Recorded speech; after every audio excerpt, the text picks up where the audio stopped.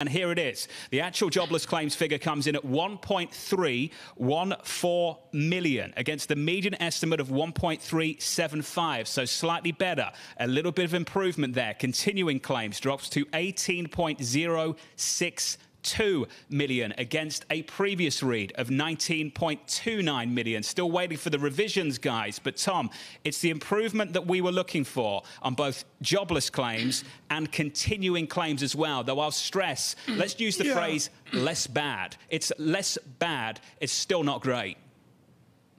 Yeah, absolutely. And I actually looked, John, today. It was the first chart I looked at this morning is one that we look at the smoothed four week moving average of that single one week jobless claims. And you're right, John, it's a fading and smooth recovery, but clearly not fast enough for the politicians, including Joe Biden speaking in Scranton, Pennsylvania today. John, right now, do you see a market reaction there to what seemed to be a little bit better numbers? a little bit higher revision for the previous month coming in a little bit as well on continuing yeah. claims, Tom. That was 19.29. That comes down to 18.76. So a little bit better last month, a little bit better this month, or rather this week, Tom. Right. So this week compared to last week, things getting a little bit better. But I should stress, Tom, continuing claims going back to June 27th. This initial jobless claims read goes back to July 4th. There is a feeling amongst many people that coming out of June and into July, things have started to fade. We've lost a little bit of momentum. So